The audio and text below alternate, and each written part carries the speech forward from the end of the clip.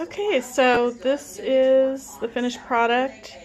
Um, I've got this uh, Mexican hash, potatoes, onions, green bell peppers, garlic, sauteed with some olive oil, um, chili powder, two different kinds of chili powder.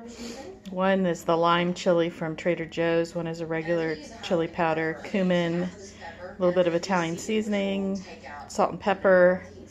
Then I added tomatoes, garbanzo beans to the mix and fried up a little tortilla, put some manchego cheese on it, and some diced avocado with a squirt of uh, Meyer lemon juice. So this is my cholesterol lowering meal. So there's no eggs, there's no, the dairy is sheep dairy, so it's a little bit um, lower, um, a little healthier for you. And then my beverage is a coconut beverage hot chocolate. It's not coconut milk, so it has um, it's low on the fat.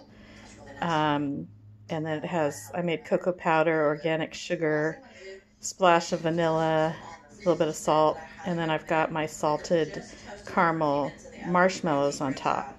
So this is me trying to avoid eggs for breakfast, and uh, I think it looks good, and I'm I tasted a little bit of it. Tastes good too, and it's gluten free. Whole thing's gluten free as well.